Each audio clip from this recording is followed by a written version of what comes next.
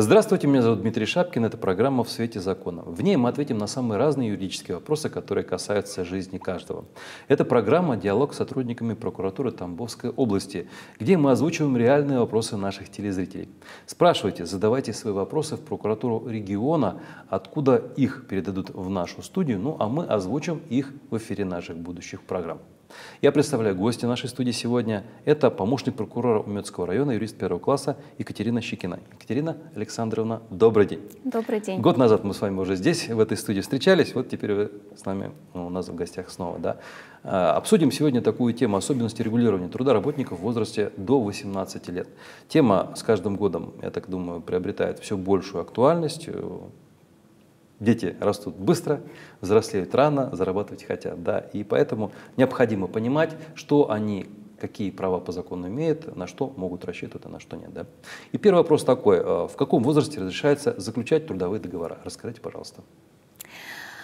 Соответствии э, с действующим законодательством э, трудовой, э, Трудовой кодекс Российской Федерации работодатели вправе принимать на работу несовершеннолетних, то есть лиц, которые не достигли возраста 18 лет. При этом необходимо учитывать определенные требования, которые э, установлены действующим законодательством. То есть при э, трудоустройстве несовершеннолетнего есть определенные ограничения. Их следует соблюдать. На какие виды работ запрещается привлекать несовершеннолетних работников?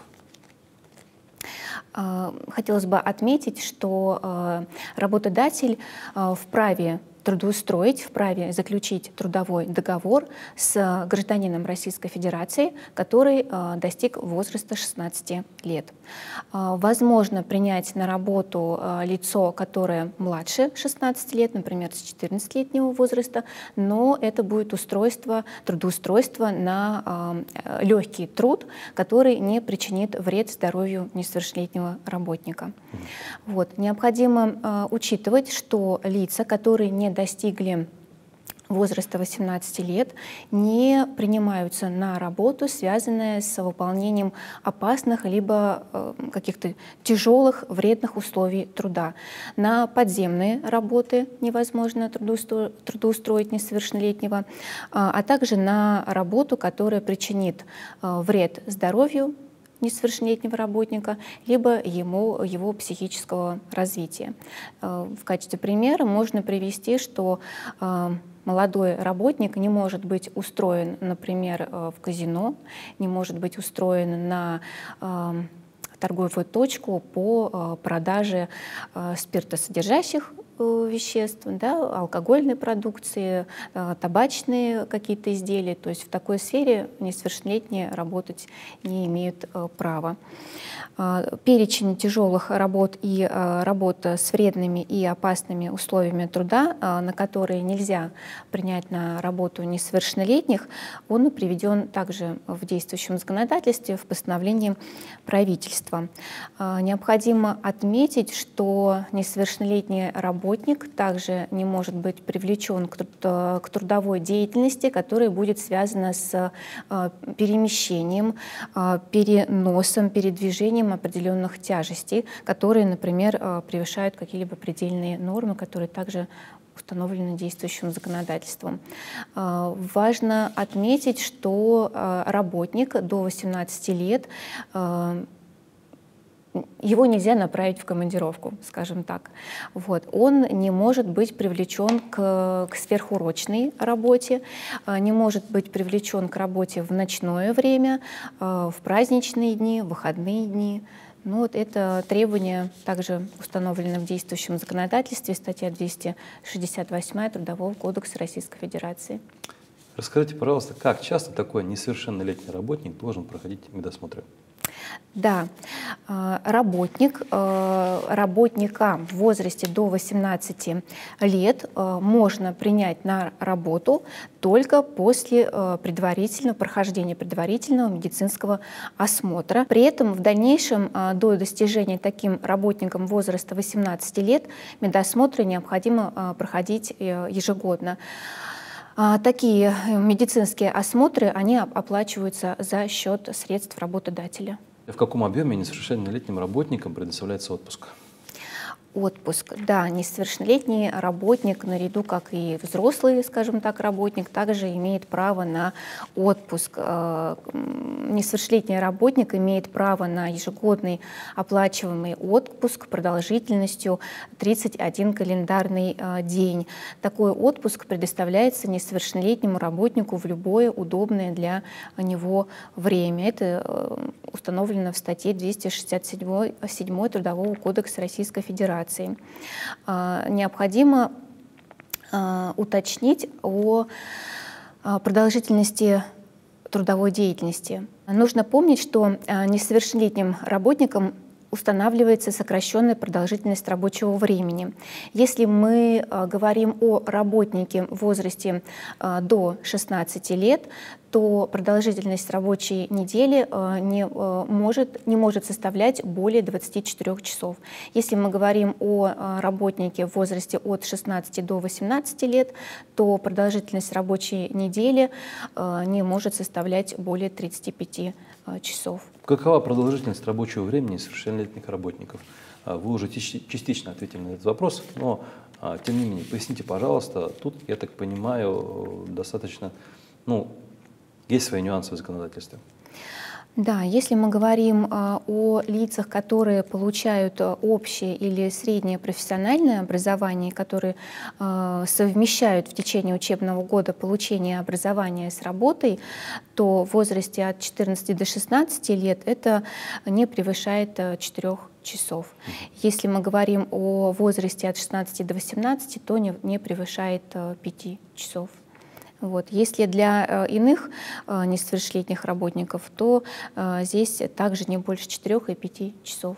Как производится оплата труда таких юных работников при сокращенной продолжительности ежедневной работы? Оплата труда несовершеннолетних производится э, пропорционально продолжительности их э, работы, исходя из оклада и э, сдельных расценок. При этом работодатель вправе доплачивать таким работникам до заработной платы аналогичных совершеннолетних работников как если бы работник до 18 э, лет работал полный рабочий день или выполнял э, полную месячную норму угу. выработки.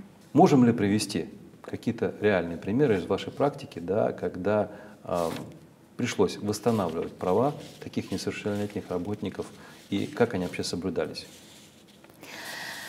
А, ну, прежде чем ответить на ваш вопрос, э, хочется отметить, что э, для э, того, чтобы трудоустроить несовершеннолетнего работника, в определенных случаях у него же есть законные представители, да? то есть, получается, родители. И в определенных э, случаях необходимо согласие данных э, законных представителей.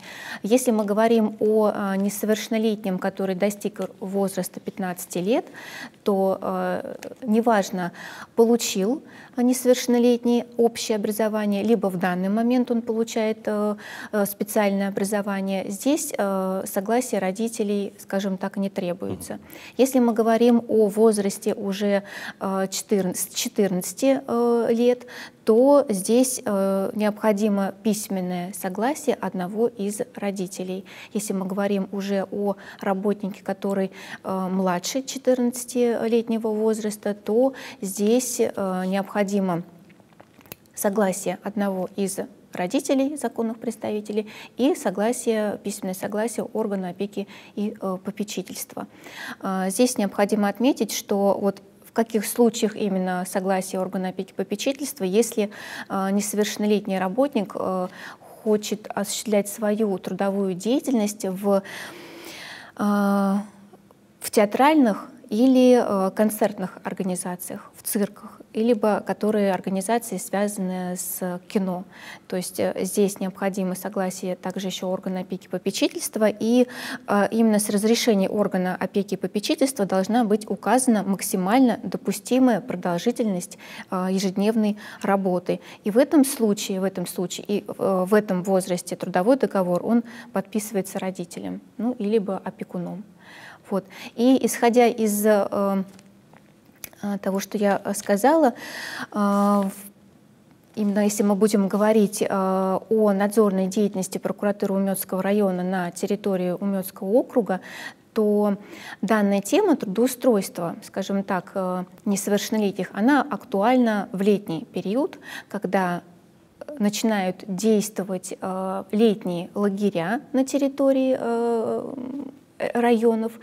Э, на территории Уметского района также де э, действуют на базе образовательной школы, на базе филиалов открываются лагеря дневного пребывания, которые работают э, с 1 июня практически весь летний период. Вот.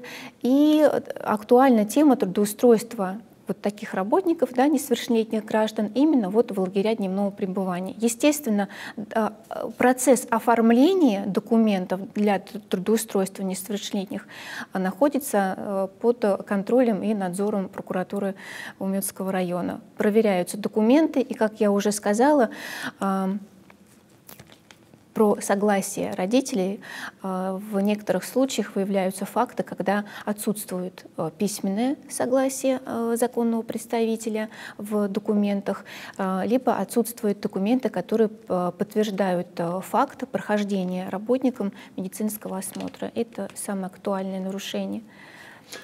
Екатерина Александровна, я благодарю вас за настолько интересные ответы да, по этой теме. Вот, честно сказать, я сам на большая часть, скажем так, вопросов, ответов не знал. Да, вот не касался этой темы. Ну, вот, например, есть старший племянник, который периодически работает, подрабатывает, несовершеннолетний, да, и вот я не знал, как это все регламентируется вот детально. Вот теперь я знаю, теперь я понимаю. Я думаю, что м, наша беседа с вами будет очень интересна Кстати, таким мы... работникам, да, и их родителям еще дополнительно. Они будут понимать теперь, а, какие у них есть права, какие есть обязанности, что они могут делать, а что, ну, как бы работодатель просто не может по закону их заставить это делать, да. Вот. Я думаю, что нарушений в этой сфере теперь будет несколько меньше, вот особенно в вашем округе, да. Ну и надеюсь, что подобных нарушений будет со временем а, гораздо меньше вообще в нашем регионе, да. Потому что детский труд, он скажем так, защищен законом, но дети – это та категория, которая ну, не всегда сможет себя защитить. Она не всегда понимает и отдает себе отчет в том, на что она имеет право, а на что нет. Да. Очень надеюсь на то, что нарушений в этой сфере будет меньше. Спасибо вам огромное еще раз за ваши ответы, за беседу. Ну а я напоминаю нашим телезрителям, а, что свои вопросы вы можете направить в областную прокуратуру. Их оттуда передадут в нашу студию, ну а мы озвучим их в эфирах наших будущих программ. На этом мы заканчиваем сегодняшнюю передачу. Спасибо, всего доброго, до следующей недели.